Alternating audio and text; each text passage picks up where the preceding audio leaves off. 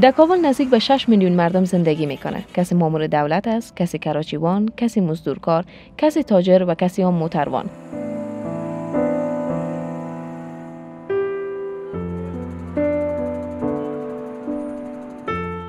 همگی تلاش دارند به گونه صاحب یک لقمنان حلال شوند.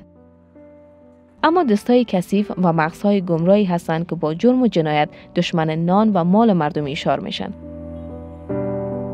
اکسا کس مردم اشار می‌کنه بیدار می‌کنه. خب که مردم هم بتونه برای دولت مثلا کمک کنه مثلا همکاری کنه.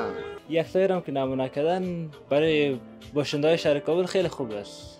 لاقل می‌فهمن که کمی کسایی کمی کارهایی رو می‌کنه کار خلافه لاقل هم یا کی است.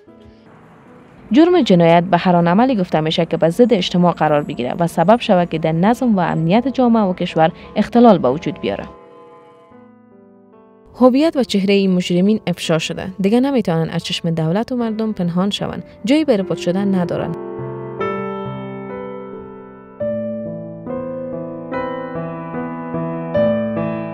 سابقا چی بود؟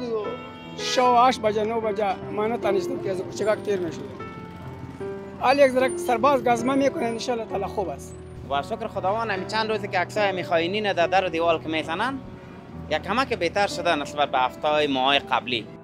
اگر می خواهیم که از خانه ما گرفته تا کوچه، شار و کشور ما امن باشه پس به خاطر تطبیق قانون در جامعه از نیروهای امنیتی خود باید حمایت کنیم. و اگر از محل بود و باش مجرمین تحت پیگرد خبر دارین به نیروهای امنیتیتان خبر بتین.